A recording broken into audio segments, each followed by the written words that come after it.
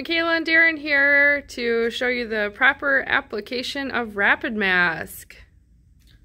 All right, thank you.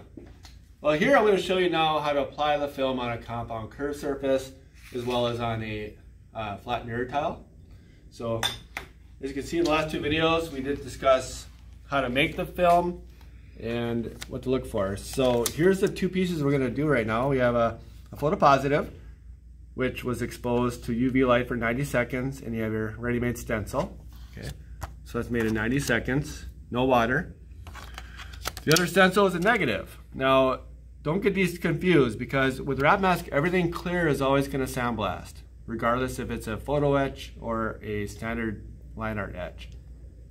All right, so everything clear is going to blast. So your net exposure, there's your negative, there's your full ready-made stencil. Okay. Now I'm going to apply each of these onto a different surface, and there's a couple of tricks involved. One is have a handy piece of tape. Uh, this is a tremendous easy way to get the slip sheet off on the film. So what I'm going to do here, Michaela, is grab the very edge like that, the little tag, and then peel. See how easy that is to get that slip sheet off? That's slick, Darin. Yeah, it's pretty pretty neat myself.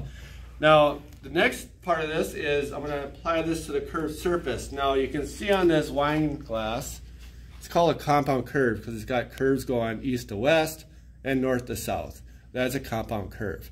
So, a lot of people tend to make their images smaller or they'll uh, put the images more in the center to make it so they don't have to uh, you know, fuss with it too much.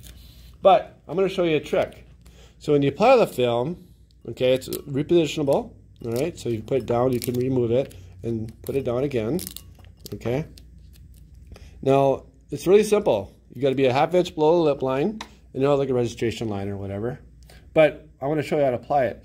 So you take your thumb, and all you're going to do is trace the lettering with your thumb, like that. Okay. So it's really good for like monograms. We're doing somebody's name or date. All you're doing is pushing all the air away from your membrane that's going to blast. Okay, all these little wrinkles out here, I don't care about. Okay, they're out there. I'm, I'm just going to completely ignore them because when I blast it, I'm going to just follow the same line that my thumb followed. Okay, so you got to get one edge started to get the carrier off. And again, grab the piece of tape, grab the edge. One sec here. Grab the very edge again and peel on the carrier. Okay. And why don't we care about the wrinkles, Darin? Um, great question.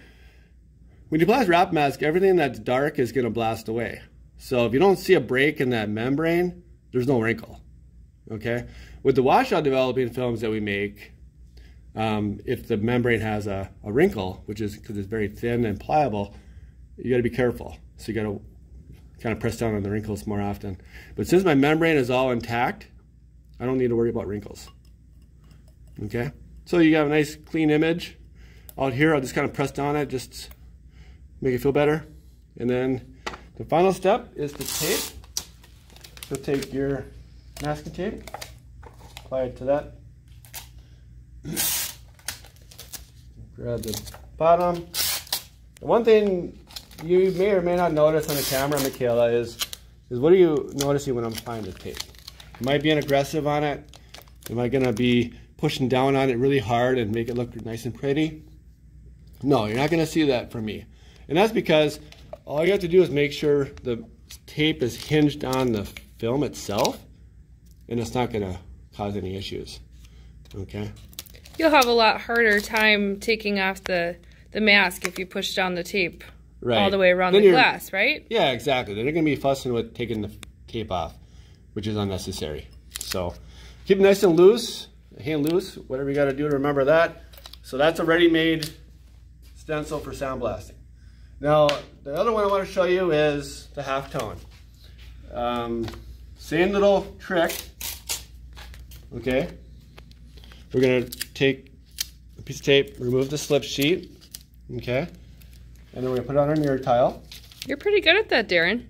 Oh, thank you. A couple years of practice. All right, so I'm going to put that down. Now, again, it's repositionable if I put it on incorrectly.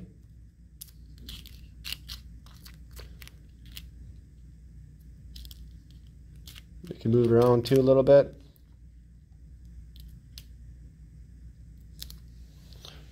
Now in our test kit, it comes with a squeegee, otherwise we do provide these separately. Normally I have it on my jig, called the Smart Jig. It's a fancy little piece of equipment there. Yeah, I might say. And then what you're gonna do with the squeegee is start in the middle, you're gonna work your way to the edge. Middle to the edge. Okay, that's how you remove air behind the film.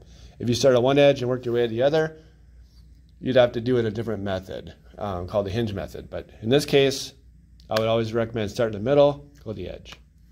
Okay, simple as that.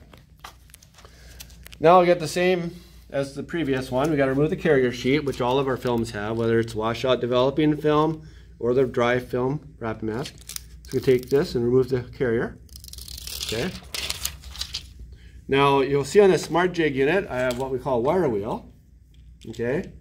If you are curious what this is for, is if you look at the stencil, um, you know, even if I did this for 20 years, it's really, and it eyes like a 18 year old, you know, it's hard to see if there's any bubbles in there because it's a very thin film, right? So it may create a few bubbles that you may not see with the naked eye. So we have this little device that helps, um, you just run this across like that, and it perforates every little air bubble in that mask.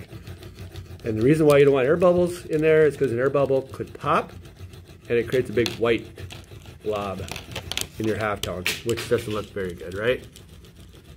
So this little wire wheel saves a lot of time.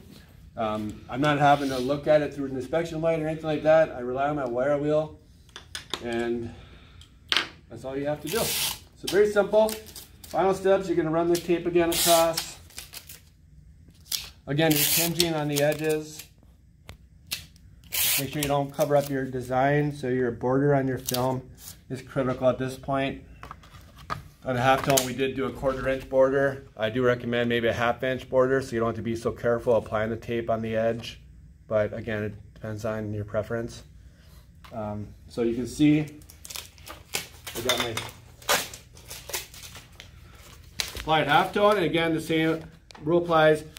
You might want to just, so it's not so sticky in your machine in your hands Just going to go like that. So here's your two pieces ready to be sandblasted.